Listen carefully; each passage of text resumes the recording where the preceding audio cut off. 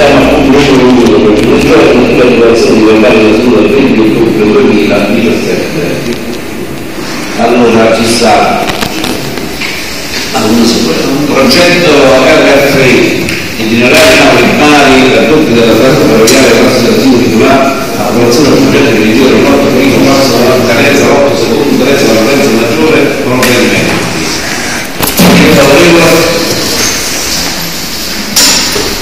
bukan sulit